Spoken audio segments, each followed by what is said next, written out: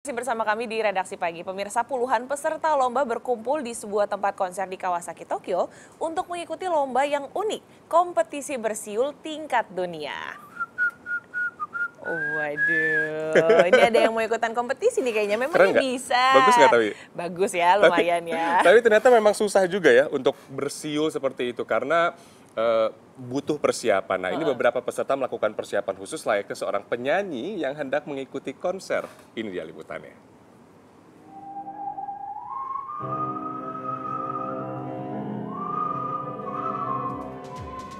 Wanita ini adalah salah satu dari sekian banyak peserta yang mengikuti lomba bersiul yang diadakan di Kawasaki, Jepang.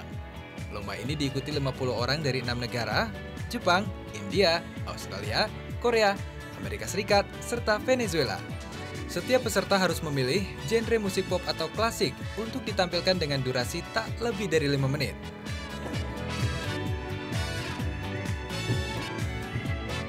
Beberapa peserta ada yang membawa instrumen musik untuk menunjang penampilan mereka. Namun sebagian lagi tetap tampil hanya dengan mengandalkan mulut saja. Untuk penilaian, para juri melihat dari berbagai aspek, di antaranya kualitas nada dan ritme. Adapun poin yang akan melemahkan adalah suara napas yang tidak teratur. Kompetisi yang pernah vakum ini nantinya akan diadakan secara rutin setiap tahun.